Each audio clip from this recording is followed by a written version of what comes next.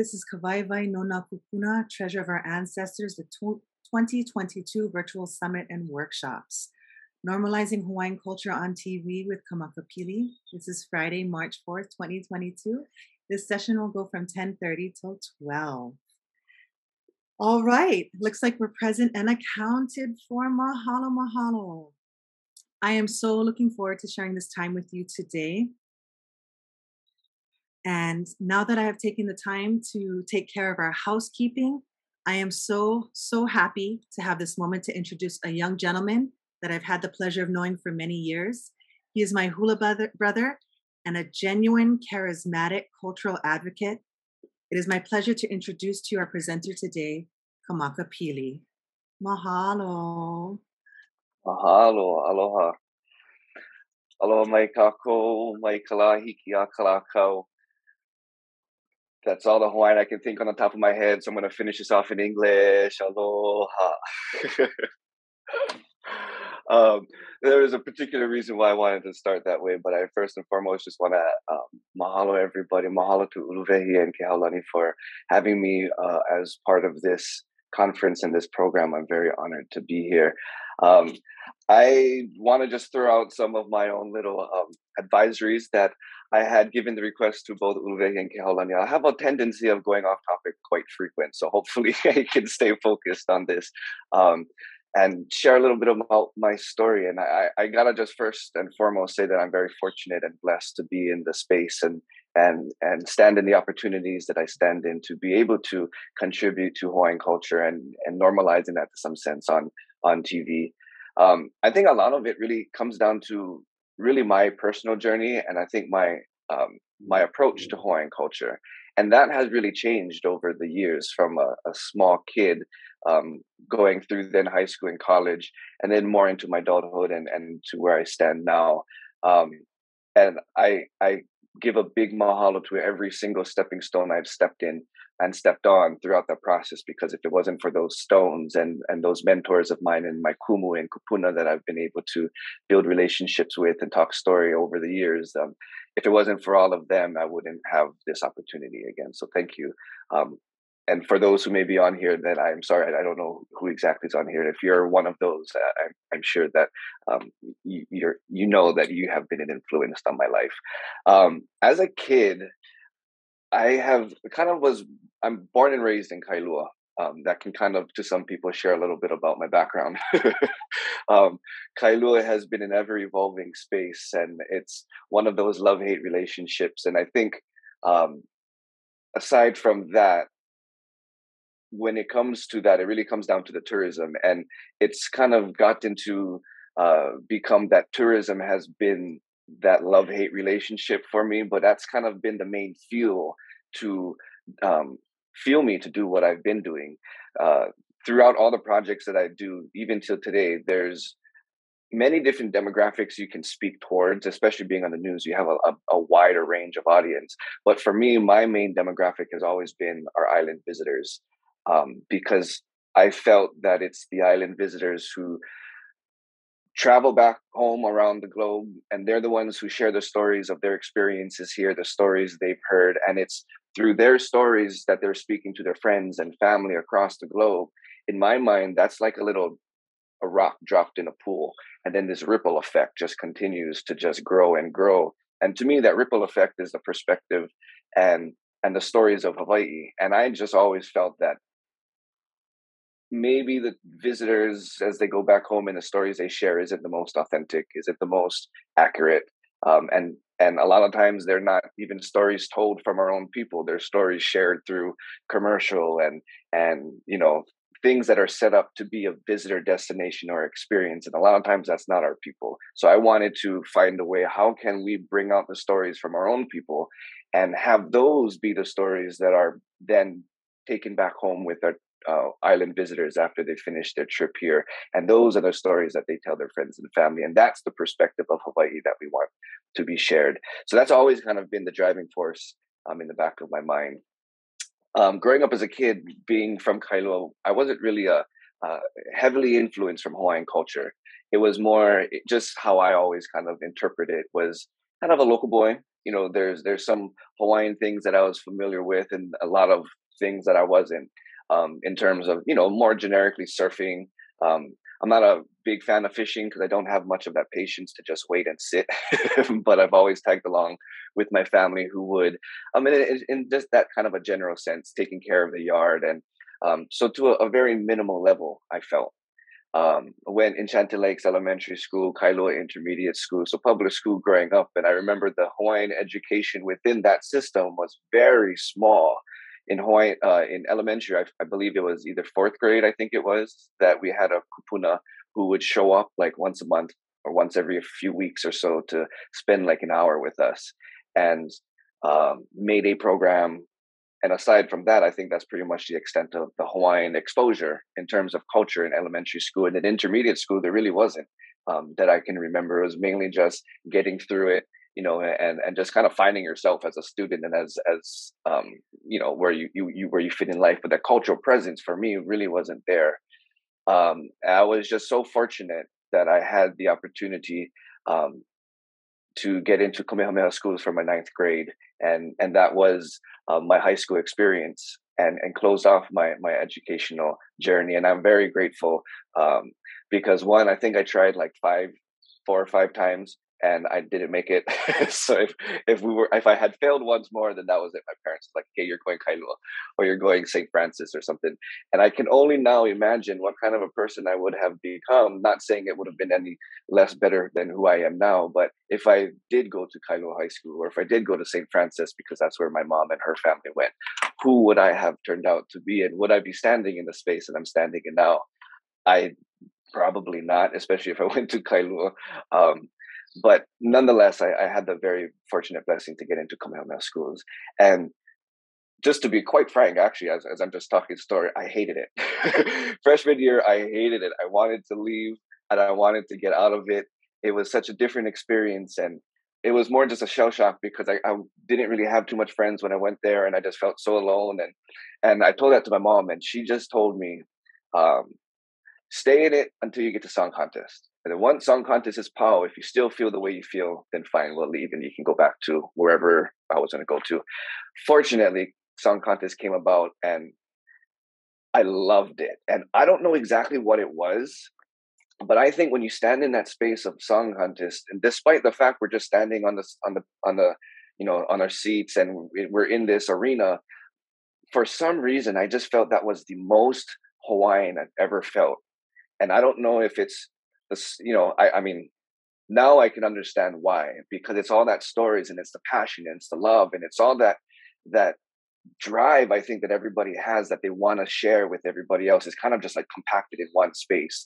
And I guess it's it was like an overwhelming thing that for me it was that trigger that I was it, it just made me realize like ah, this is beautiful and I can't sing, so that's not beautiful. But the fact that I'm trying, the fact that, that that what I'm singing about is is perpetuating this story but it's really it was the now that i look back it was really that journey getting to song contest and then song contest being that that space that you finally see what you was working so hard for and it may be we were working our, on our own particular song but then you look at all the other classes and, and the, time that they spent, the love that they've gained for the stories that they've learned. And then their whole passion was to share it with us, and vice versa. Our whole passion was to share it with everybody else.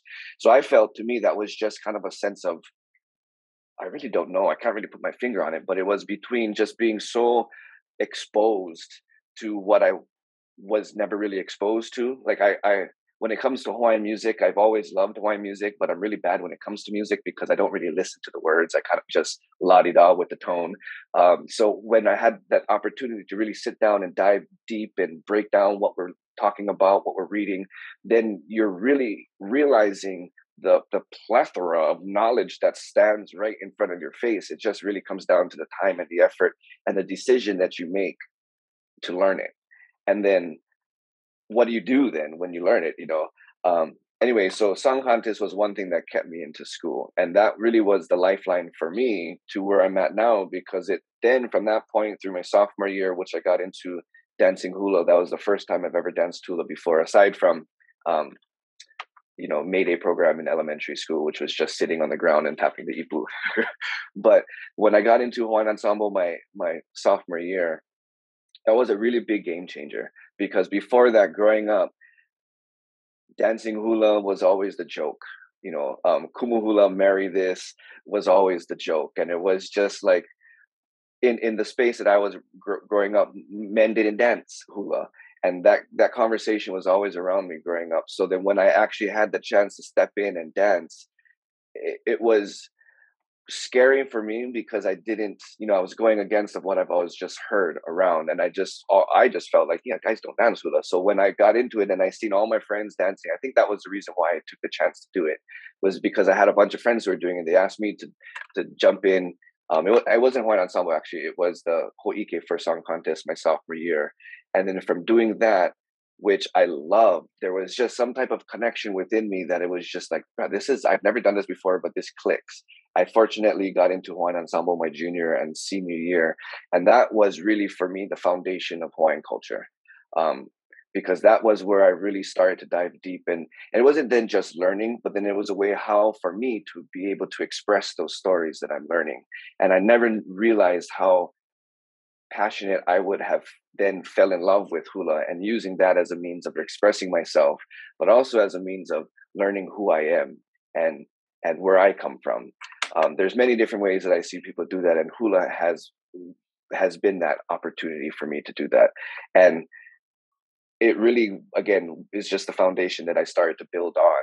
I got out of high school, that I um, fortunately got into UH Hilo, and then that just was the water that that fed this seed that planted in high school that started to have this beautiful sprout started to peek through and and then start to grow and I got a mahalo uluwehi because she was part of that journey for me during that time um, when I, I, was dancing with uh, Taupouri Tangaro who he probably doesn't know the impact that he has on my life um, but he had a great impact on on giving me a whole different perspective and a whole different, really a whole different set of glasses to look through when we're looking towards Hawaii and what does it mean and what is what is there.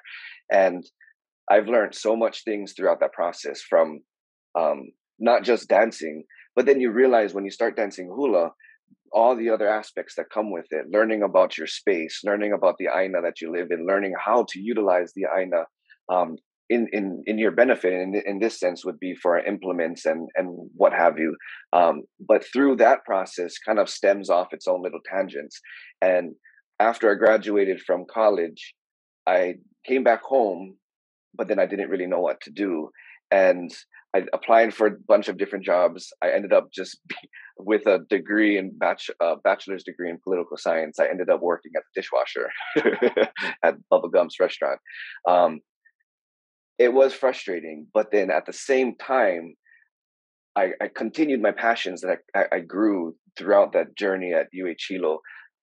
I, I just started to get myself into different cultural programs. Um, Lomi Lomi was was the next thing, and I started to go to Lomi school while I was going and I was working. So I would work during, I'll go to school during the day, and then I'll work at night. But then from a dishwasher, I started to make my way up. I went to a, a line cook and um, I got overworking in the back, so I wanted to be in the front. So then I went to be a waiter, and I ended up becoming a bartender. So I was got to the point where I was, in my mind, learning and healing people during the day, and then providing them alcohol and poison, and, and the opposite effect at night. And I did that for a while, and it was such an oxymoron to my life. And I felt so like I can't do this. Um, I, I just ended up quitting Bubba Gumps with no backup plan my backup plan because I was in Lomi school.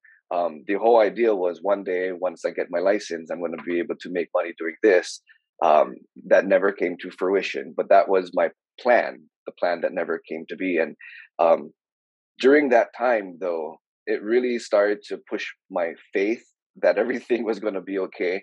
Um, but then the issue came about where I was becoming so passionate and I didn't know why and I didn't know what to do with it, but become so passionate about Hawaiian culture. I, I, I still continued to dance and I started to dance with Kumu Chinky Mahoe back here at home.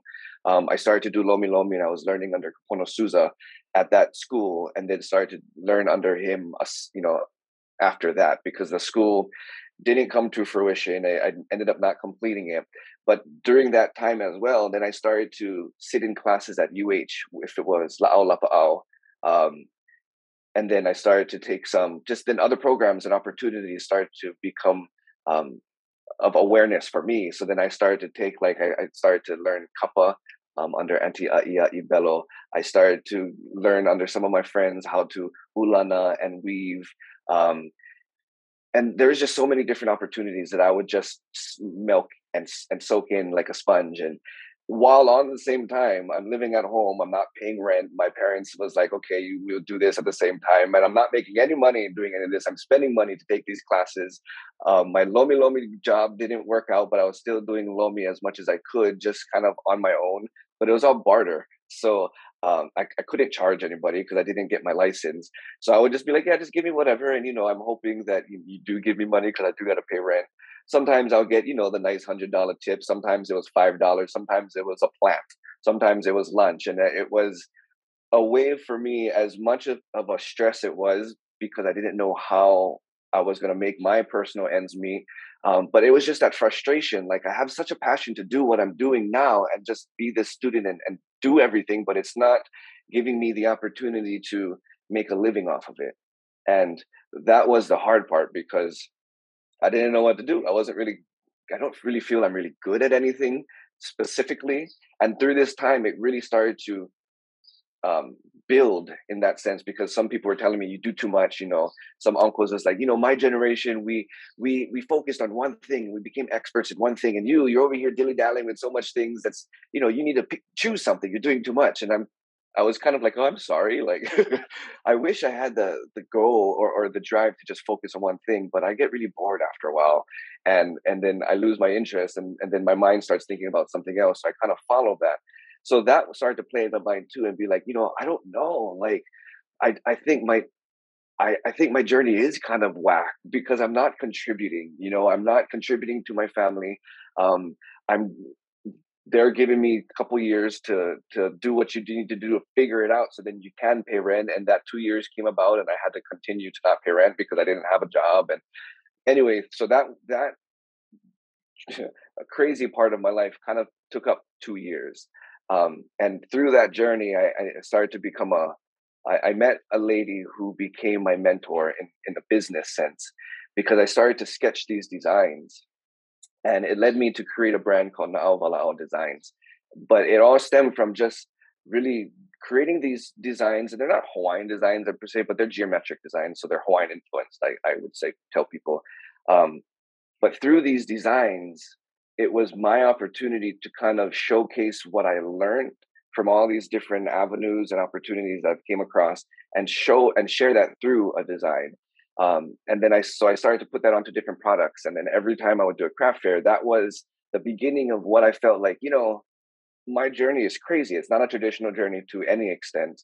Um, but it was the first piece of the puzzle where I had the opportunity to kind of um, utilize what I was doing and what I was learning and put it into something productive so then I can eventually, you know, become an adult and do this whole adulting thing, which by the way sucks. Being adult sucks. They don't tell you how much it sucks when you're in school. um, trying to figure this out is a challenge within itself.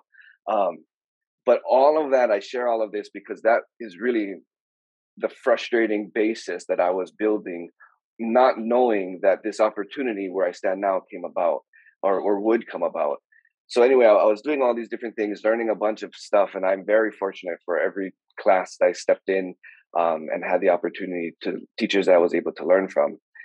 Well, long story short, uh, I ended up getting a job at while doing my, my branding and I was being this entrepreneur for an, an additional couple years and I started to do event planning and just try finding different ways to um, make money for myself but then when I started to do event planning, I would start to build an event around Ali'i that I have built my knowledge around and and use that event as a way to honor our, our Ali'i. If it was for the birthday or a significant thing they've done, depending where I, when I was scheduling that event.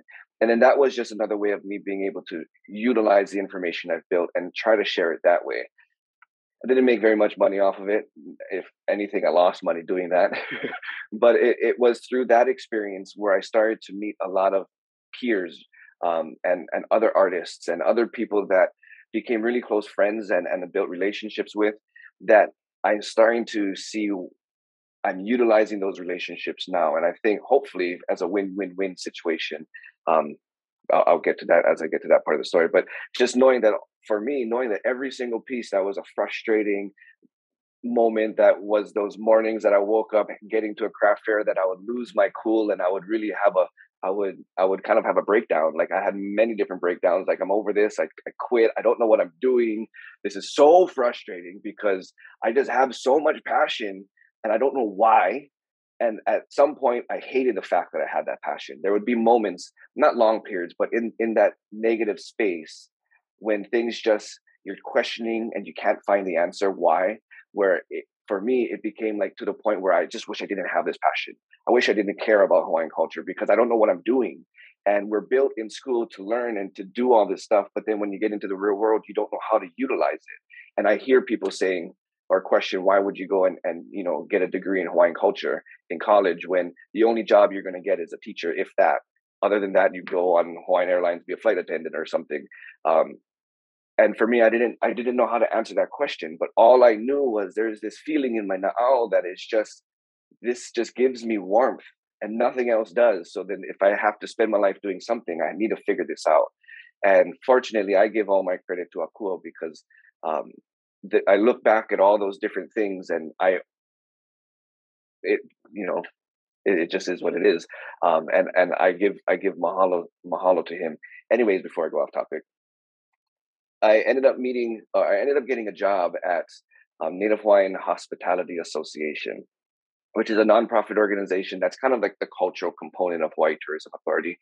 And fortunately, I was that was my first job in a few years ever since leaving Bubba Gumps as as a bartender was my last job.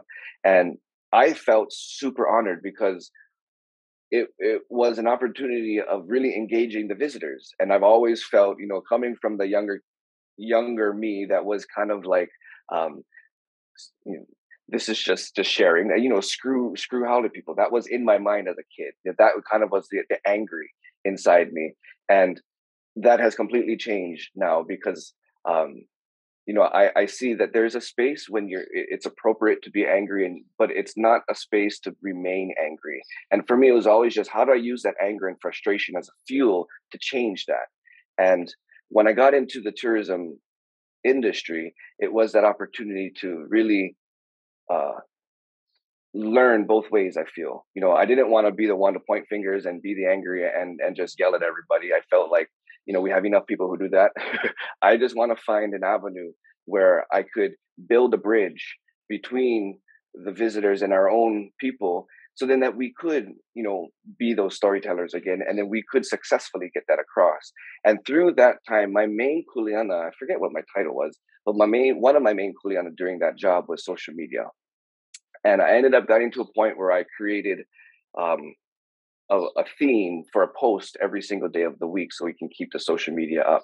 And I when we got to Wednesday, I don't know how it came about, but I just remember driving down the street one day and then I look up at the street sign and I was just wondering like who is this? Who is this? Like what does that mean? So then come down when i'm planning out all all the, the themes for the week i come to wednesday i just remember like who that what that who that what that Wednesdays. so the idea was to go to a street sign, take a picture of the street sign, and then just share a little bit about what that name or what that word is or who that is, if it's a name, you know. And that is how um, I started in terms of kind of sharing cultural knowledge through social media. And then once that job came to an end for me, um, those were just like picture posts. So I figure on my own when I again I didn't have a job at that point because I was um, I was getting back to being more of the entrepreneur side of it. But I started to take those picture posts that I was doing during that time, and then I just elaborated more into. I figured, you know, let's let's make videos because everybody's on social media. I'm not. I want to be relevant. How do I make culture relevant with everybody else out there? And I felt like, you know, pictures you can only go so far. So what's the next step? And it was videos. Um, but in my mind, it's how do I make Hawaiian culture popular? you know, how do we make people care about Hawaiian culture as much as I feel like I care about it to the point where sometimes I'm just over it because I feel, you know, anyway, um, so I ended up to do, I figured let's just make one minute videos because I know at the times on Instagram, you can record up to a one minute video to post. So then my first video ever that I did was Kapi'olani Boulevard, um, right across the street from Ala Wai Park. There was, I, there was a sign there and I did it right there. And I remember buses passing by me. There's a few people who would pass by me. I'm literally standing on the corner, and there's these random people passing by. I stop, and I feel so weird. And this is just this is weird. But I, I I started, and I would do it, and it it grew in terms of its traffic. You know, slowly by slowly, and then what I ended up doing was making a website and building a, a, simple website and i would just post these videos on there kind of like a portfolio not really knowing what i'm doing. My business mentor at the time she was the one kind of leading me to do this so i was just following her command. Um, you know like all kumus tell you you do this you go. Um, so anyway i ended up doing that and then uh, eventually came around halloween of 2017 and one of my friends that i used to work with at bubba gumps he sent me a text with this video of this Hawaiian boy, come to find out, who was graffitiing the statue of Prince Kuhio down in Waikiki with this bright orange construction spray paint. And he sent it to me, and it was like his friend who was recording his friend. So he was there for, and you can see him going on, and he was explaining that um, Hawaiians lost Waikiki, so there's no point, or something like that and it just i when he sent it to me he just told me i know how much you know you love this stuff and you love hawaiian culture. Just do what you want to do with this video just don't mention my name. So i was like okay fine. So i took that video which really it, it was very disheartening because come to find out as a hawaiian boy he was from like waianae or something and it's just like and the fact that you feel that we lost waikiki to to visitors and to the visitor industry that you don't give crap anymore and that you're just gonna vandalize like that doesn't make any sense to me. So instead of being the angry Hawaiian that I could have easily been, I, for some reason, again, I, I just give credit to Akua because if I were to do that now, I probably wouldn't have done this. But I just went onto the web, um, internet and grabbed all the emails I can find from every single news station, from the general manager to the other email that I didn't even know who it was. I just put every single email I could find and I put it onto an email and I grabbed that video and I grabbed my website link that I just started to build some of these street videos and I sent it to all the stations. And I just said that, you know, I feel that if there's cultural education integrated within the newscasts, that situations like this may not have happened because and it would be a win-win-win situation. This this boy probably would have, you know, let's just say you share education on the newscast this boy may have known who Prince Kuhio was and and how he's benefited from uh, the legacy of Prince Kuhio and how we still are benefited from him today and would have had the respect and the aloha and would not have vandalized him. So that would have been a win for the community because they are learning stuff for free. And I think learning about ourselves now comes with a cost a lot of the times. And there's not much opportunities that you get free chances to learn on a um, you know uh, accurate sense at an accurate sense. So it's a win for him it's a win for the station because i felt then that the community looking at that station of providing and giving the time to share culture education the community is going to look at you and they're going to start to build more of appreciation for you. So it's a win for the station and then it's a win for me because i needed a job.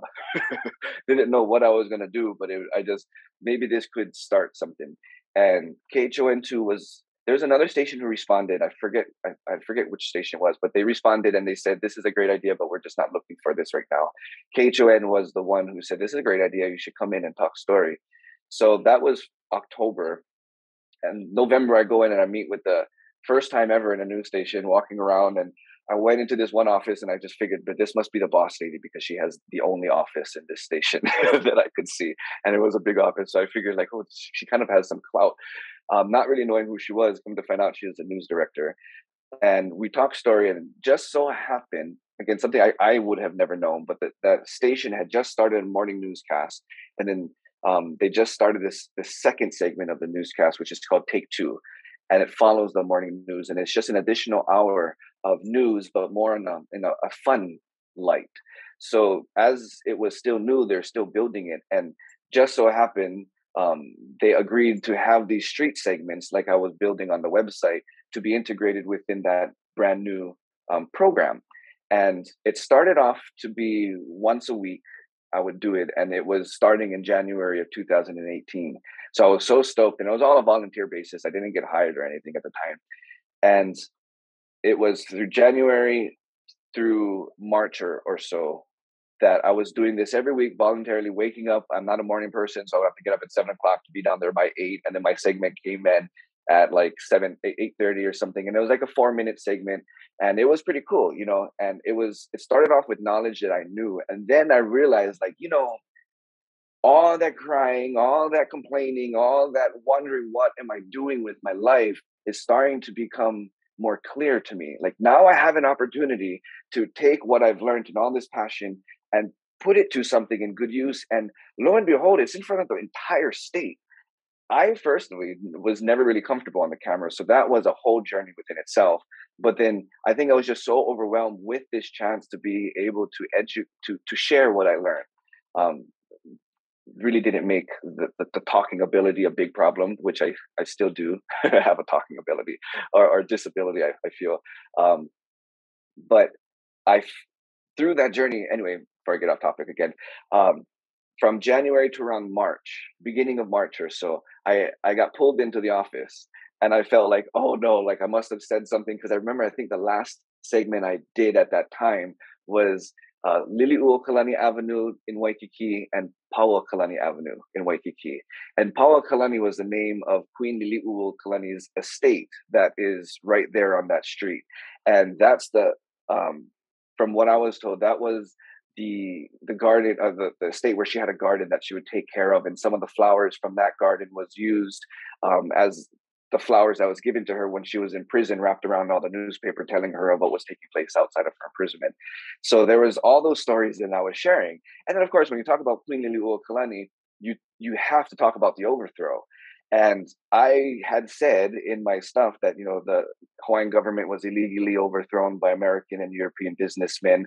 And then I get this phone call that I got called into the office. And I'm like, oh no, maybe I shouldn't have said that, you know but then for me came a thing like you know i i feel there's a lot of things in our history that growing up in school um, learning throughout elementary intermediate high school that we're taught so much but to a certain extent and then they kind of like hold back the things that are sensitive. Um, or we just touch upon it a little bit and we don't elaborate too much about it or just in conversations with people people don't want to hear about the overthrow. They don't want to hear about things that go against america or some you know that kind of jazz. And for me it's it, it was never approached to bastardize or to point fingers or to you know complain against the american government at that time or whatever. That's that could be easily the angry person of me but that was never my intent with these videos. It was more of this is the facts this is what not doesn't necessarily be spoken about and i also feel this is the things that people want to hear. Like you want to know about hawaii you have to talk about the goods and the bads. So i felt like i needed to share that within these segments. Well i get pulled into the office thinking i'm going to get fired or or let go and be like sorry you can't talk about that stuff. You you have to um, we're gonna we're gonna stop you. But she ended up off my, my boss ended up offering me or, or recommending for me to apply for the weather job that came about because the weather um, position for the weekend had become vacant come April. So she had uh, recommended that I apply for this because she felt, I don't know, just how, however I am, that it would be a good chance. So I did. Two months or so, a month and a half went by, and I didn't hear anything. And then come beginning of April, I, I got the I got the or somewhere around there. I got the the notice that I got the job. So come April 16th was my first day of employment at KHON as the weekend weather person. And then three days a week, I started in the morning news. And that was a whole challenge within itself because I would work on the weekends at night and then I would work uh, thir- Wednesday, Thursday, Friday in the morning. I start at work at three o'clock in the morning, go to 11 o'clock at night. And then my weekend was three o'clock in the afternoon to 11 o'clock at night. Um, it was just on the opposite side of the cat uh, of, of the day so it was really hard but that was i was still doing my my aloha authentic segments so it was just now just adding on top and even now to this day it just keeps building. When i first started one of the the, the morning cameraman he's like you know, maybe you shouldn't do a good job because they're only going to keep telling you to do more. So just do a little bit of a job and then just, you know, just keep doing what you're doing so they don't keep asking you to do more stuff. And I'm thinking, no, you're a brilliant man. but at the same time, you know, I want to make as much use out of this as I can. So with all of that and with the new weather position, it during that process of training, um, talking about how to talk about weather. I'm not a weather person. The most I knew about weather was I can tell you if it's raining right now or if it's not. Like that was my knowledge. So I had to build a lot of knowledge to get to being able to speak and just telling the story of the weather.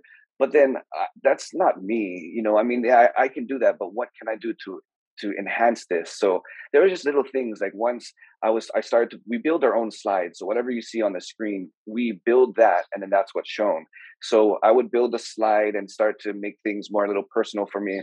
And then throughout the training process, I started to put the Hawaiian words. Like, you know, let, let's let's just try this. If we're gonna say wins, let's let's put the Hawaiian word or um, little things like that. So I I do have um, some slides to share. So I'm not really good at this. I'm hoping this goes smoothly, but I have some slides for those who may not be familiar. Um, I wanted to just share a few slides of what I've done. So something as just as simple like this: um, English word, Hawaiian word, and it, it's little things. And sometimes, you know, when we talk about it, I sometimes I try to bring attention to it and share, like, you know, our makani, or in Hawaiian, we say makani in English, it's winds. Or sometimes it's just if it's, I don't get the chance to to bring attention to it, at least it's there and people can see. Um, but it's just something simple like that. And then I have a few other ones, excuse me for my um, ugly computer. But then I had like low temperatures, and it, it, then you can kind of become a little bit more conversational. As the more I've done this, the more I realize like you know, like anu anu. But then when these temperatures get down into the 50s, sometimes, you know, we say hui hui when it's freezing. So then I can change this, or it just gives opportunities as I'm talking to, you know, be educational rather than just informing. And I think it's those little things that for me I enjoy, and that's why I would I I, I done it and I continue to do it um, because it's also I I need to be refreshed on things that I I know. Um, and then another one that I have is even on the bottom. So one thing when I when I did all this training, I put things together. The last thing I had to do was show it to my boss and have her be okay with what I have before I went on air and before I went live. And the one thing she told me, she loved all of this. Um, but the one thing she told me was just don't do it too much and expect to get flack. And I, you know, both of those are true. Um, I feel doing too much is could be very overwhelming. So even like these things on the bottom, this is a, a new screen that we had, and I just try to play around with it. But before there, when we first had this slide, the the Hawaiian words and those white boxes weren't there. It was just the blue. So I felt like by putting these Hawaiian words there is it's not making this slide too complicated. You know, when you have these slides, you don't want to have too much words, you don't have too much graphics, too much things going on because you want it to be easily understood and you want your message of the weather which is my primary goal within this job is to get the weather message across that does still comes across successfully but hopefully by a little flair of hawaiian stuff like this people will be able to become more um, aware of it is the first thing become more familiar with it is the second and hopefully for me is that you're so familiar and inspired and you love this that it inspires you to go and find out more on your own and so it, all of this is just like a little, just like little, you know, sugar on the, on the top of of whatever you eat, or little, you know, a little garnish that you add to just give it a little perfect and a cherry on top. Um, so these are little things I do within the weather, and it's again, it's just not on the screen, but it's as I'm talking. And for me,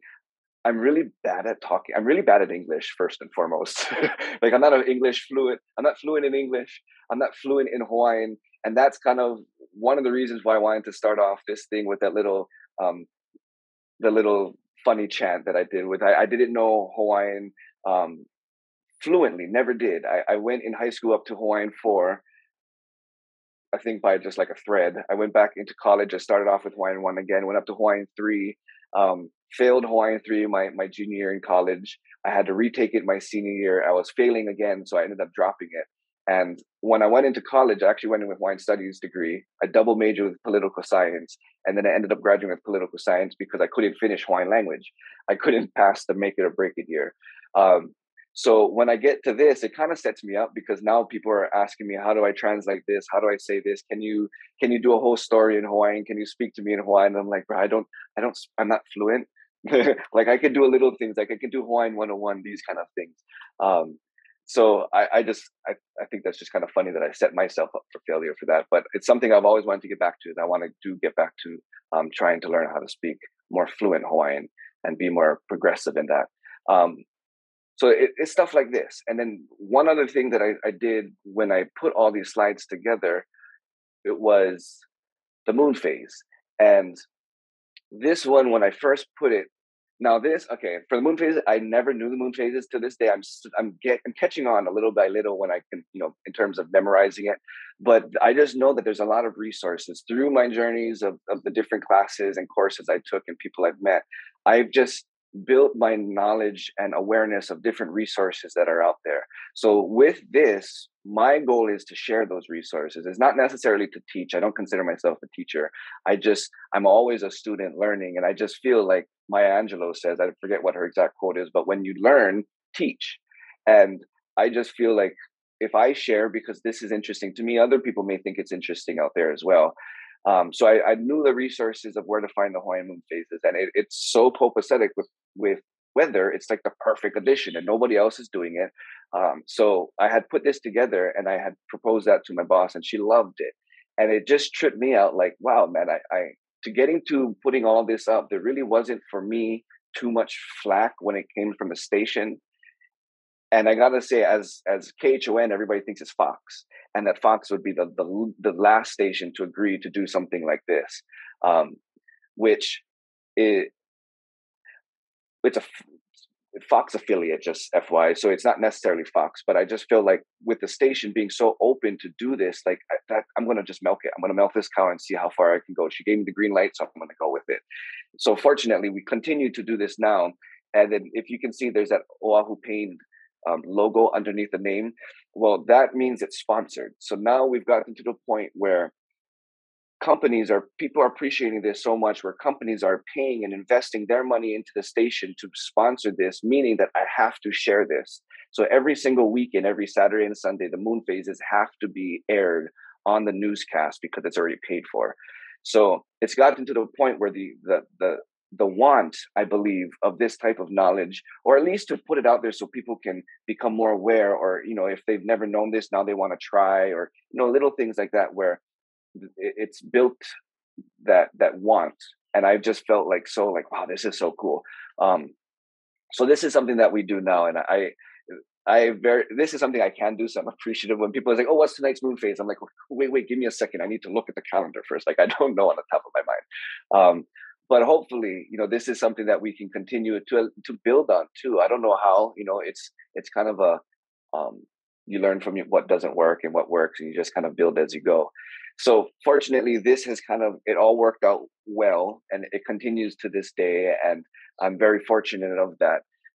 So once this started and i got into the station this is like the weather is is the number one reason why people tune into the news. So first and foremost, I got this this email from a from my news director one day, sending it to all of us, just giving us some statistics in terms of viewers watching the news and what they tune in for. I believe it was weather was on the top of the list. I think it was like 70% of people tune in for weather. That's the, the, the, number one thing people tune into the news for. And then it's, of course, top news, local news, national news, sports, and whatever else comes after that. So when I got that, I'm like, okay, I'm a newbie in this station. I'm a newbie in the news industry. I'm a newbie in front of the camera. I'm always behind. I'm never was comfortable with the way that I sounded. I was never really was confident in my my self image and all these weaknesses that I felt I had. I'm just starting to realize like now I'm really utilizing those weaknesses as strengths, as as my strengths or as tools for me to kind of build my career, which I just trip out on because if I would have thought I did this in high school, I would I wouldn't have thought. Uh, in high school, I did do a little morning news thing, but it wasn't anything serious that I was gonna, you know, become a news person. So it just kind of trips me out. And again, I give credit to Akua for um, for guiding me along this crazy journey. But with the weather, this is kind of how, fortunately, I kind of, I think, built the biggest awareness of myself within our community was through the weather. And even Justin Cruz, who's, who is my trainer, you know, he trained me. He's our main weather person. Um, he even said that the weather is where people will, will recognize you and, and will um, get to know you better. The the street segments that I do, not as much traffic. You know, people don't necessarily tune in for that.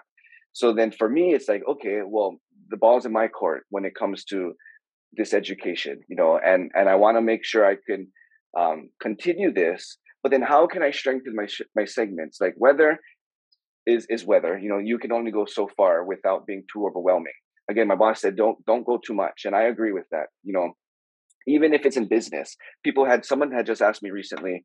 Um, naming a naming a company because my company name is Na'au Wala'au Designs um, is it is it good to name a company a Hawaiian name, or is it better if we give it an English name?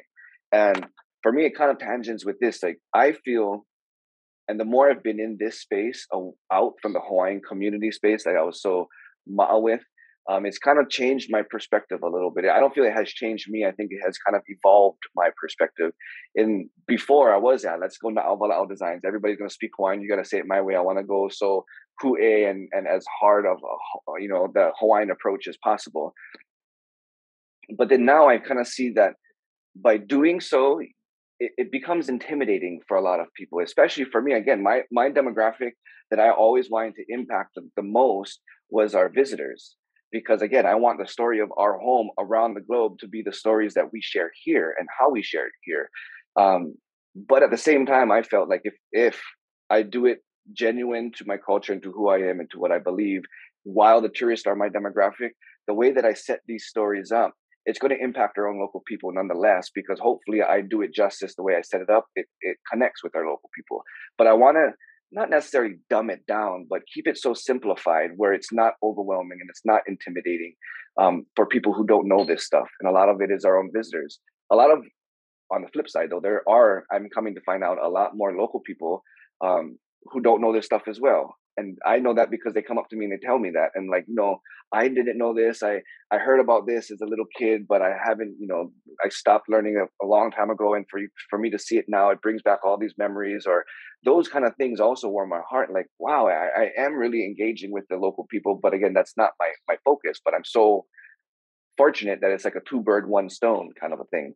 Um, but going back to being intimidating, I know what it feels to step into a conference where you have a high wig people, you know, high uh, people in our community that people look up to, it makes me very nervous. So when people are talking fluent Hawaiian and I can't keep up and I get intimidated, like, oh man, I, I get nervous. I kind of want to leave and I feel ashamed, you know, so it prevents me from going all in, you know, or it, it, it prevents me from speaking up and asking questions and so forth.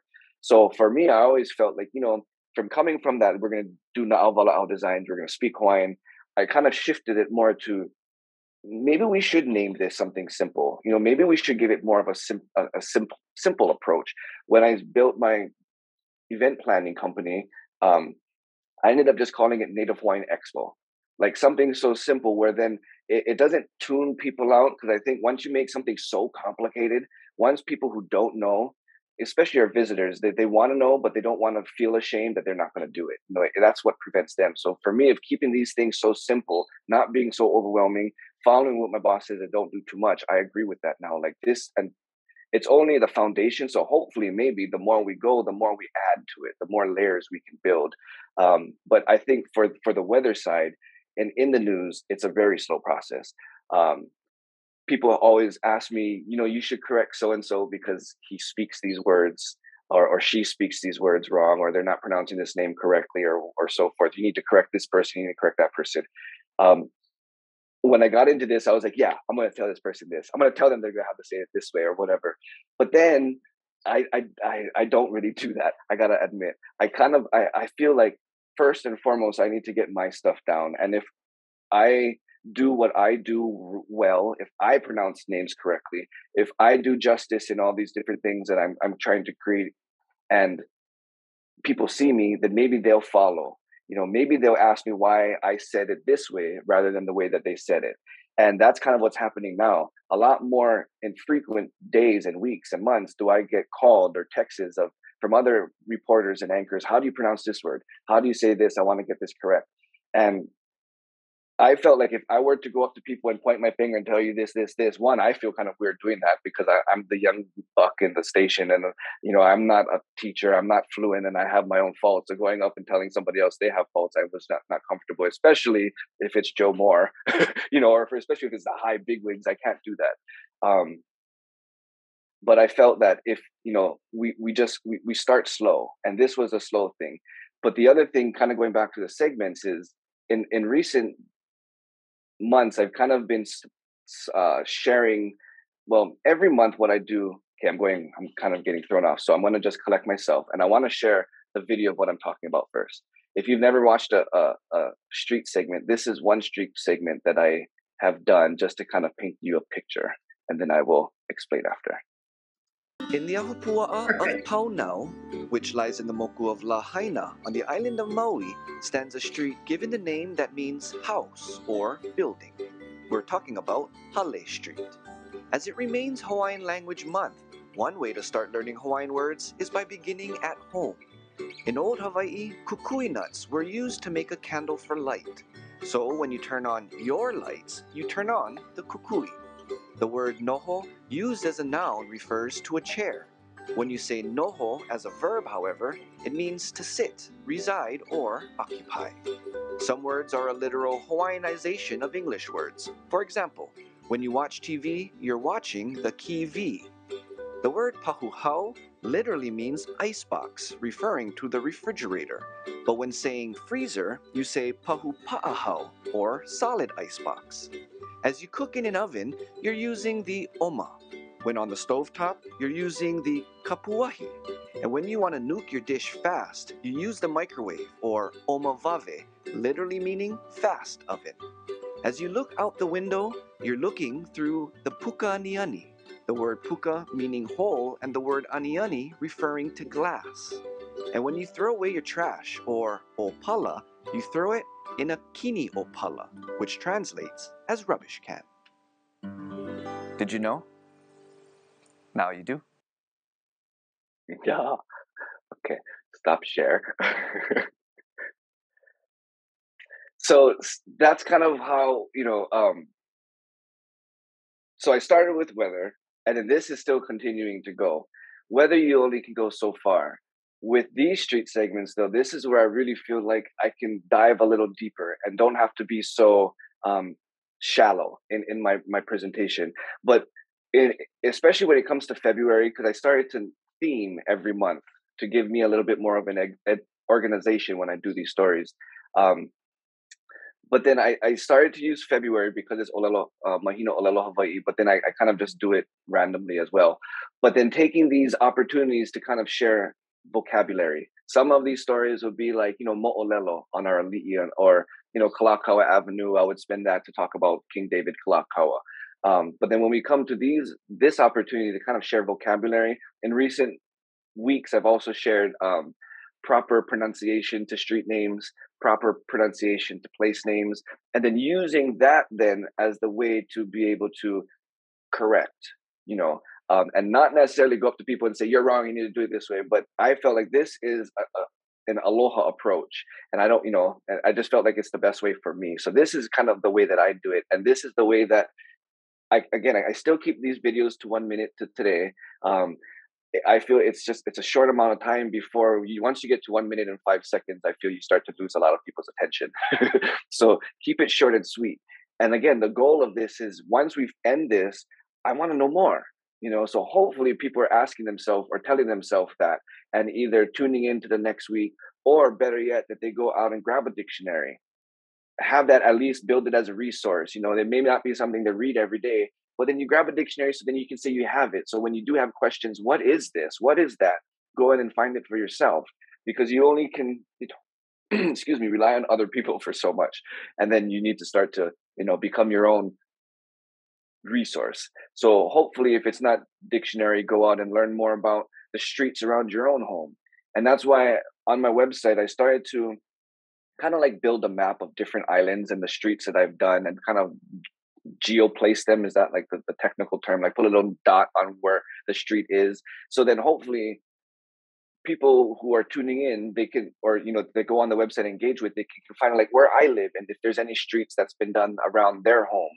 So then, hopefully, if you want to start to learn and be inspired, start at home. That's probably the most relatable you can be, rather than learning on a street on somebody else's island. If if there if I haven't done, you know, then I started to how again, how can we kind of inspire this and make Hawaiian culture and Hawaiian stories popular? I had a couple times I put out there like, you know, tell me I haven't done the street in front of your house. Make a little video and and share with me a, a little bit of the mo'olelo of the name of your street. You know, so it's those kind of things that I feel that um, is one step to to do that and to maybe not normalize it necessarily just on TV, but how do we normalize Hawaiian culture and Hawaiian language within ourselves? Because we all live in Hawaii.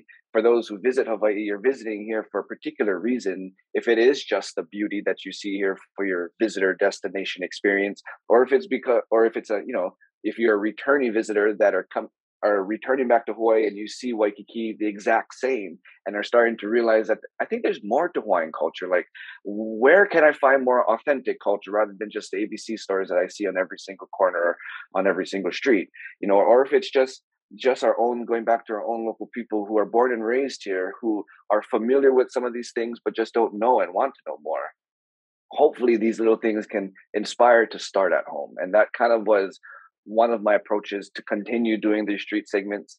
Um, on the flip side, just uh, I not everybody kind of wants their stories to be told at the same time. So I, you know, to bring that into account, I did a couple streets of Molokai, and we all know Molokai are very proud Molokai people, and they're very protective of their home. And I'd done a couple, and I did get some flack for for doing some stories of Molokai. But with that approach, I I had it, it gave me the understanding of doing these stories you cannot just go in and do a story.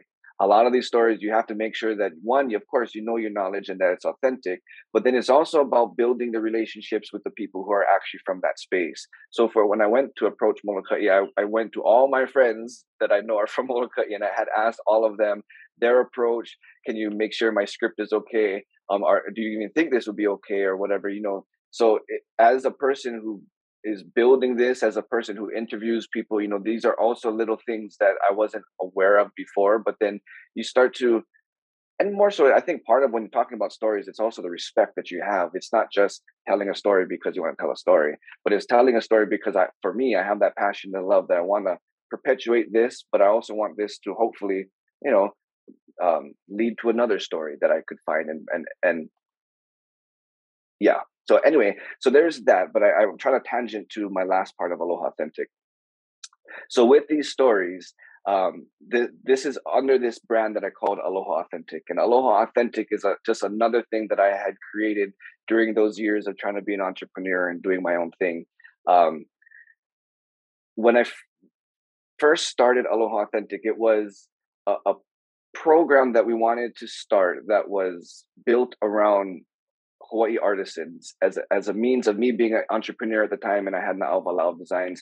It was a platform where we can bring on artists to bring awareness to their brands and have them share their story. And it was a program that we started at, with the association that I was a part of, this um, artist association at the time, that we started at with Olelo Community Media, which is the community television here on Oahu.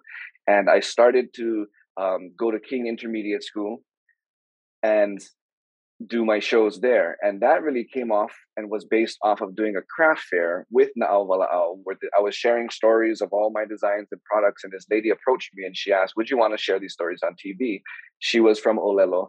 And I ended up just like, oh yeah, I'm down to try everything once. So I tried, and it just the ball just kept going, and that's how that had started.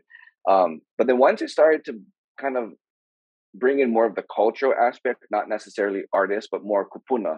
You know, the idea was not just to um, hear the stories of our kupuna, but also archive their voices. And this was an opportunity to do so. Um, so we did that, and it was just something. Again, I wasn't working at the time. This was something I was doing once a month, and it was free for the most part. Anybody can kind of have their own program. If you don't have somebody who comes with you, and you need somebody to like man all the operating systems and stuff, the staff of Olelo can do it. But then it's a fifty dollar charge. So then I ended up paying money and losing out money on doing 38 or 39 episodes i think i've done throughout three seasons with olelo and it was this very raw 30 minute conversations, no commercials, no graphics, nothing to spice it up. They were just talking heads the whole time. And now I can kind of see how boring that could have been um, for people who are watching that you're just watching talking heads for 30 minutes. But I felt the the engagement with that had really actually increased. And I only found out from word of mouth. I will walk down and people approach me and talk to me that they've seen the show and stuff. And it was very inspiring for the the, the few that that came up and, and shared their experience watching the show with me. And it just inspired me to keep doing it. I didn't know why I was doing it. I was losing out money. I didn't have a job. My mom was even telling me like, you know, you should just finish this or you Just stop it. There's no point in doing this. And I felt like, you know, I agree. There at some point feel like there is no point, but I'm going to just continue to do it. Fast forward to I'm working at KHON.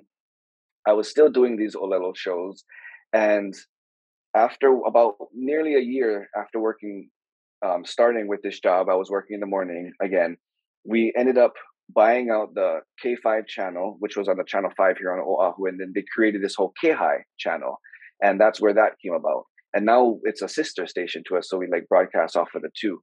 Well, when that came about, and it, it created this whole new broad uh, newscast during the evening, that then they moved me from the morning to the evening, and I continued to do the weather on the weekends. But now I'm working at nighttime during the weekdays as well, so I don't have that really screwed up schedule. Um, but with that, they were looking for local programs to fill out this one hour broadcast or to fill out the, the newscast and the channel itself. So then I've it was just off of a whim. And I, I originally told myself, I'm not going to pitch this Aloha Authentic show until my contract came up, which was two years into, uh, you know, two years was, a, was my contract. But this was only about eight, nine months or so. So when they told me, I just kind of went off of a whim, just as I did emailing every single new uh, email address I could find. And I approached my general manager and I showed her just a few clips that I did with Olelo, and I just said, you know, we I have this already, and it would be a great opportunity if we can kind of um, really just add to this and bring it to the station, but then add and make it better. And the, the manager agreed, my boss agreed, and that kind of is how then Aloha Authentic came to KHON. And we're now closing off the second season. We have one more episode to go that we will be filming in a couple months or so next month. Um, and then I'm already starting to plan our third season. And so every season has 12 episodes. So we're already almost 24 episodes in um, throughout the time that I've been here. And then we're we're going to step into the next 12. And with that, I mean, with this whole Aloha Authentic show now, it's it's a whole different ball game when it comes into working with a news station there's so many different people in the news station that you have that are you know moving parts. And the one thing i appreciate about this job is that everybody has their kuleana. And i had my last job my boss would literally stand over me typing watching what i'm typing on the computer. And i was just like what the heck? This job i don't never see my boss. Like everybody has the trust for each other that you're going to do your job because if you don't i can't do mine. And if i can't do mine then there's going to no there's not going to be a newscast tonight. So i love the fact that we all have kind of our own thing. We all kind of our our, our heads are in our own desks and we're doing our thing. Um, so with this new job with this new show then i had to start working with other departments you know the sales department because they're the ones who sell it like the, the Oahu pain sponsorship for the moon phase, marketing, who does all a whole different side. And so it, it's really broadened my perspective of how the news station and industry works. Um, but then comes a lot more challenges that you have to play. Um, before I go off, I do want to share just a, a little clip it from this show if nobody's ever seen Aloha Authentic. This one um, with this show, so how, from going from an artist's perspective to a little bit of a culture when we were at Olelo, when we brought it to KHON, for me, the whole point is to just continue mainly that same goal, sharing different perspectives of Hawaiian culture through our own people and allow our stories to be told that way. So this particular one is from Auntie Kalei Nu'uhiwa. I had the blessing to fly to Maui um, to go meet Auntie Kalei Nu'uhiwa. And for those who don't know, um, she's very acclimated when it comes to weather and Hawaiian knowledge and, and approach to weather. So that was the whole theme about this particular episode. And this one, she's sharing a little bit about the moon. So I, I want to, hopefully this works on the first, on the first shot. okay, let me just close this out first. Okay, share screen. Cross fingers. Why is it so important for us to understand how the moon works? Well, that's because the moon's main function is to move liquid. And um, as I was saying earlier, that um, this is knowledge that was brought um, with Hawaiians as they as they sailed, and when they became Hawaiians, they utilized the season of the moon and the cycles of the moon to determine what are the best days or nights to um, do work uh, mm-hmm. in the most efficient way in the least amount of time. And so I uh, help them to survive. Again, it comes back to that idea of survivability. Can mm-hmm. you survive here? How can you do that? And how can you do it in um, in sequence to what the moon is and what it's doing? There are 30 phases that um, Hawaiians recognize, and this is something that you see throughout Oceania, throughout the Pacific. Um, generally, there are 30 of them that we recognize, but they don't correlate to the 24 hour circadian time period. Mm-hmm. It's, so that's a whole different. Um, uh, the Gregorian calendar is more of a solar calendar, and then the Kaulana Mahina, which is the Hawaiian name for the Hawaiian lunar calendar, um, is specifically following the cycle of the moon, and so that's that's how they differ. And so it was very important for Hawaiians to understand that it sets up the seasons uh, for um, for your fishing, your farming, uh, governance too. What kinds of thing? When do you go to church? When you know, uh, or mm-hmm. temple, or do your religious ceremonies and those things. Um, but like I was saying, the moon's main function is to move liquid, so it'll push liquid or pull liquid. So you have an ebb and and flow of tide. Uh, it'll and move sap in trees. I was just gonna say, and when you say liquid, then you're not just talking about ocean. No, like not just think. the ocean, because but you see it. You yeah. see the movement of the tides, and if you can imagine, that same activity is happening on freshwater through freshwater movement, uh, sap, as I was saying, through trees, uh, also magma because that's liquid too, so uh, you can actually see uh, the rise and the fall. So even with earthquakes, yeah, there, there's some type of relationship. Correlation, yeah, abso- wow. absolutely. There's a correlation there. So.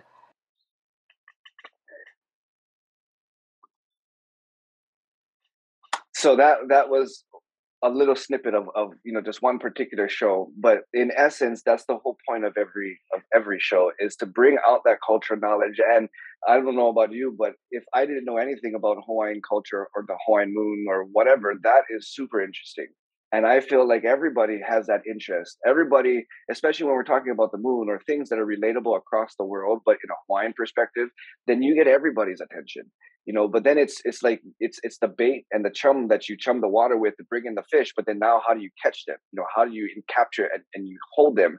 Then it just becomes all the, the what you then share following that um and i know most of it is really i just try to allow everybody else to talk but at the same time when i'm doing this i, I don't want to come across as being an interviewer or you know i don't feel that I I don't feel like I belong in in the sense like my my fleshly abilities. I just feel like it, I I shouldn't be in this position. Again, I, I so I only give credit to Akua for getting me here because um the way that I talk, I I feel like I have a hard time keeping conversation. But when I'm in this space, I feel like I'm just such a I'm a 16 year old boy who's just so giddy and I just want to learn and I just then I, I I want that then to come across as well because I feel when that authenticity in the conversation comes across through the screen then for the viewers it's not like they're watching an interview. My whole hopes is that they're just kind of like part of the conversation but they we we just can't hear them you know but at the same time then it's inspiring them to like call on the mahina okay i want to go and find out more about that and that's actually one thing too is how do we make this the most educational so that's why i had insisted that we put subtitles every time we have a hawaiian word i want a subtitle there unless it's already said and then we're saying it multiple times after. But the first time we say something, anything Hawaiian, I want everybody to know exactly what we're talking about. If we don't, if we're not translating it, at least it's it's visually there. So it's little things, and it may seem super simple, which it is, but it's that little simple act that I think people remember, and and that's the thing that makes them feel part of it. Like again, going back to being unintimidating, I feel if we didn't have subtitles, if we didn't speak so basic, it, it then becomes a little bit more. And that could, I don't know if it would kind of flare people off from wanting to watch or, or have them tune to a different channel, you know. But if the longer that we can keep people in, it's you know from a corporate side of course the station industry is like we want ratings which i don't know what the ratings are but from word of mouth and from engagement that i can see off of um, social media that it, it only increases. And then just from some people who are tuning in from outside of hawaii like i just trip out from the continent to um, other countries it's just like wow man you know so even more so how can we now start to find topics to talk about or what topics are there to talk about that we could approach from a cultural perspective. Um, one main one that we've done, which I, sh- I should have clipped it, but I didn't. Um, last season, we talked about mahu or homosexuality. And it was the first approach to kind of like a human interest story in a sense where everybody understands it. But we, I was so grateful that we had Kumu Hina to be able to be one of the guests. And she kind of just so blatantly, but so uh, so simply put and how explained mahu in a cultural sense you know, and I know she has her Kapaemahu thing. Um, so it, it was kind of around that that realm, but it was awesome. And I it's awesome for me because I felt that was gonna be one people are gonna hate it or gonna love it. One or the other. There's not gonna be a middle ground. I didn't get any flack from that particular, at least personally through social media and stuff. It's been the most engaged video on all my social media platforms, the most likes and shares and, and comments and stuff. And it, it kind of for me, then how do we, what's the next step in, in this? You know, we can talk about cultural arts and, and cultural practices, but then what about cultural thinking, cultural mentality, cultural education, or, you know, other things there? So that's kind of what I'm trying to get to. Um, but again, it partly comes down to my ability to be able to talk about it. So then there's, there's a balance I have to find, but that's kind of where I'm at now. And I, um, I trip out first and foremost, but I'm very appreciative because I do see the positive impact that this presence in the news has um, given to our community. Um, and I, I, don't say that to to be arrogant or to boast myself, but I just feel more so it's about the culture and to see that the culture is is talked about more I don't know if it's now I'm in a space where we have more people talk, that I engage with, people more talking about it, or if it's the fact that people more so are talking about it, or I'm starting to see just more cultural content on news in general. And I'm not bringing it back to that it, it stems from Aloha Authentic. I hope I just hope that Aloha Authentic is part of that. But just to see an increase of cultural content, cultural knowledge, cultural conversations, people's wanting to know how to pronounce the, the the right words. I'm getting more texts by the days of oh Kamaka, how do I pronounce this? I want to make sure I say this correctly. I think the last one was Kenui Road. There was an incident that happened um, on on live. You know, one of our reporters went live, and right before she went live, she texted me. I didn't know what it was for, but then I'm watching her on TV. I'm like, oh, you're doing that for you asked for that. Like, thank you. You know, people are telling me, thank you for telling me this, but I'm like, no, thank you for caring. And and I think that's that's all my role really is is is just to kind of be that resource, at least within this particular station, that if um, one, I, I, represent the community that may have not been represented so much in this industry, and with that comes what what we you know admire, what we want, what we're, what we're so passionate about. But at the same time, it's not just passion. If um, it, it's kind of like knowledge, and I think with just the world today, there's so much negativity. There's so much things that people are you know. There's so much problems out there. I always felt that I don't know the answer to the problems. I can give you my perspective. A lot of it will probably be based off of emotion. Nonetheless, I always felt the first stepping stone in fixing any issue is education. And that I can do to at least a 101 level. you ask me for Hawaiian 102, maybe not. I'll have to pass you on to somebody else. But if it's 101, I could I can do that, you know, and I'm just so grateful that this whole conference or this the theme of this particular conversation is normalizing Hawaiian culture on TV, and I feel that it it is, you know, and and I feel that hopefully we're normalizing it not just on TV, but in everybody's homes. And I feel that everybody we we have people in so much different spaces. People are are giving bo, uh, you know, um, poi pounders and poi bowls, and their goal is to get that in every single home or you know this type of cultural stuff that everybody's becoming more more influenced with this or we want everybody speaking hawaiian every everybody's home or i just feel that i'm just so grateful to be a part of that contribution and and the more we have that type of contribution the more our culture will survive. I remember in high school one thing that always stuck with me is language is a lifeline to any culture you want to take away a culture you you remove their language you block their language you kill their language But on the flip side, it's the opposite effect. The stronger your language is, the stronger your culture is. You find opportunities and find more ways for your community to build, even if it's just a very basic. I mean, everybody's in their in their own level of Hawaiian culture, of Hawaiian language. Again, I'm not fluent. I'm failed Hawaiian language multiple times and I continue to do so. But from what I do know, I try to embrace and I and I just would love to be able to continue to add to that. But to know that we're all on our own level. You know, within our health and wellness, we're all on our own level. But I think we all have one main goal, and that's to strengthen and that's to become healthier, that's to become better. If it's within our own personal health, or if it's within Hawaiian culture, within the language that we speak or the knowledge that we know. I think we all have that one goal. And I think the more that we could, again, from my approach, the more that we can share that outside of Hawaii, the more that we could live Hawaiian outside of Hawaii as well. Um, I'm waiting for the day that I could get Aloha Authentic street segments, or if it's just the, the show, to other newscasts on the continent. Like we have sister stations in Vegas and whatever. So I had pitched the idea and haven't gotten the green light yet, but how can we make this relevant to Hawaiian people in Las Vegas? You know, and then if we start there, there's many Hawaiian people there, but then of course everybody who's not Hawaiian, how can they then relate to this? That to me is a next step. I don't know how to take that yet, but that's one way to take the next step. And I just always think, what is that next step? Um, so with all of that, you know, I I had written down all these notes. I haven't looked at it once throughout this whole time. I know we're coming up to the end of my time. Um, I was thinking, like, what is my main message? I'm going to wrap this up with. I have like six different points, and I don't know what is the best. But I just feel that um, for me, and I, I, I did an interview yesterday for a, a news story about uh, a canoe festival taking place tomorrow at Kualoa and Hakipu'u um, the Kualoa Hakipu'u Canoe Festival. I was speaking with Kaiulani Murphy, who was a navigator, and I was uh, asking her, you know, getting all this set up. Uh, what what's the title that you want me to to put you down as? Well, she had um, put in an email that she didn't she didn't want the term navigator because she's considers herself a, a lifelong student of navigation. And for me, that's kind of how I approach this. Is I'm not a teacher, I'm not an expert.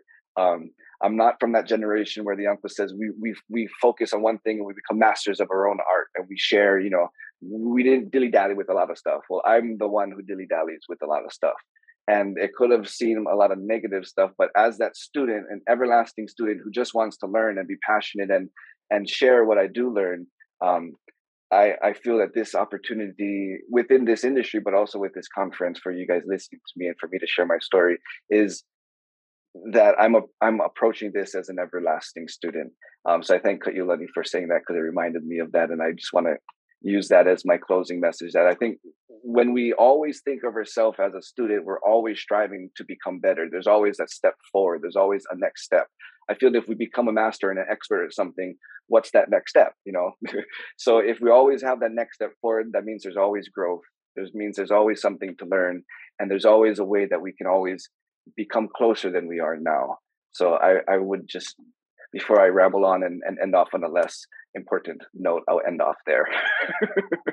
Thank you, everybody, for having me again. And Uluwehi and Kehaulani Mahalo Nui. I really appreciate it. Mahalo ya oi e I am so happy to have had this time with you. It has been too long since I have seen you, and I look forward to that. Thank you to all of you for joining us today and for, for all of your wonderful, wonderful comments in the chat.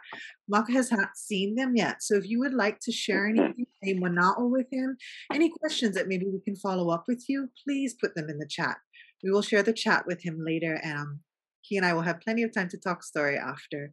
But I do want to say mahalo to y'all and mahalo kamaka. Like, aloha authentic. Like, that is you, my dear. Like, I uh, I really mahalo you saying yes, taking the dive, being here, and sharing all of your beautiful mana'o. Mahalo, mahalo. Mahalo. Thank you. Before we leave this meeting today, I do have a couple of um, important announcements regarding the summit itself.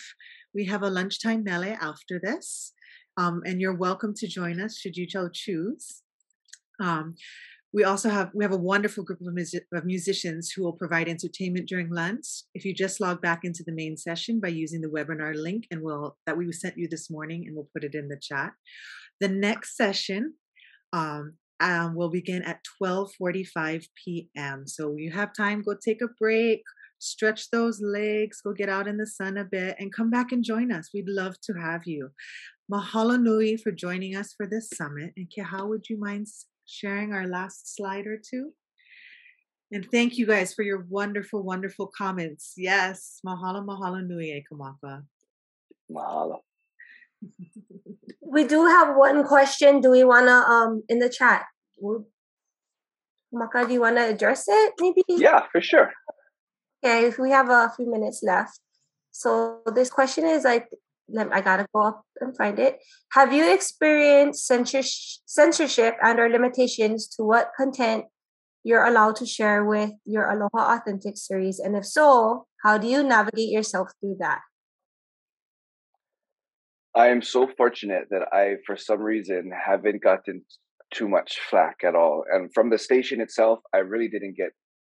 Uh, I can't think of any on top of my mind. Um, the the most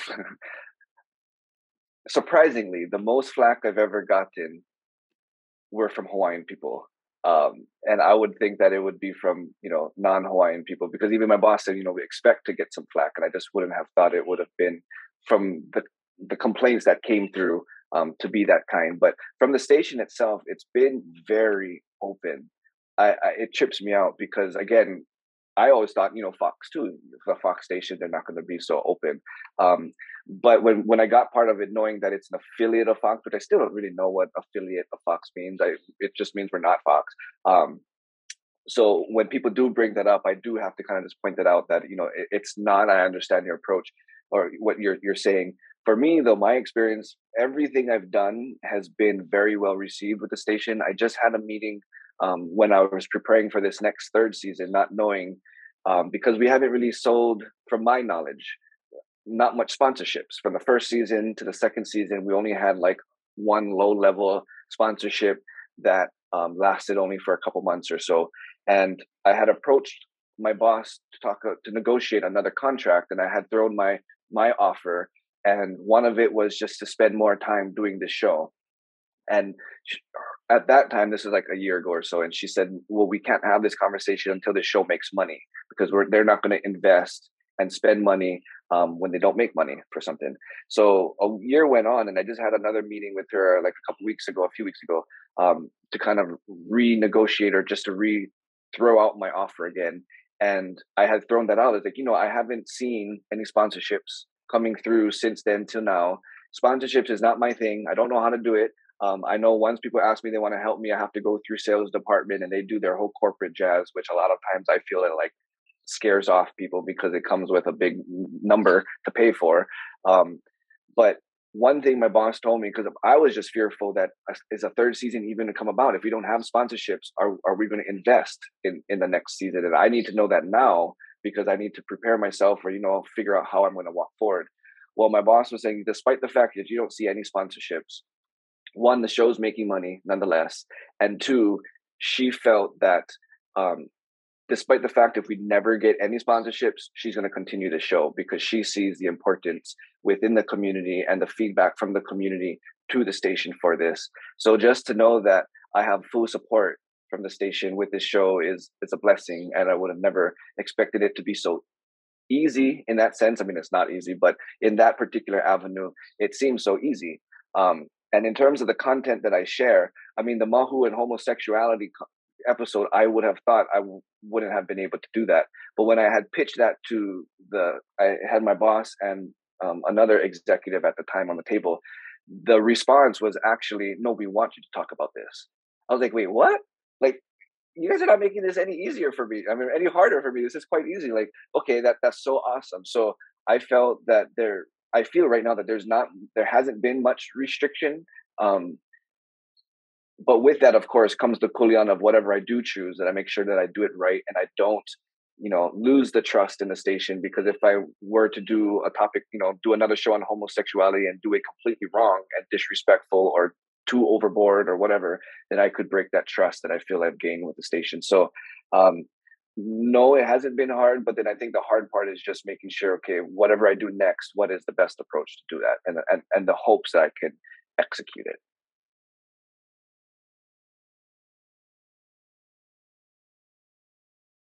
Mahalo, mahalo, mahalo, mahalo for that great question.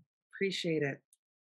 We know we could probably continue to talk story forever, and I would love to give. you I am a Portuguese, so. and you know you and I will. but we invite you guys to also, if you have any more comments and, and questions, please leave them in the chat. We encourage you to go out. Um, we encourage you to to look into your own personal health, well-being, and cultural practices, and to to take the time. No matter where you are in your journey, it's a journey, and we're all in this to support each other.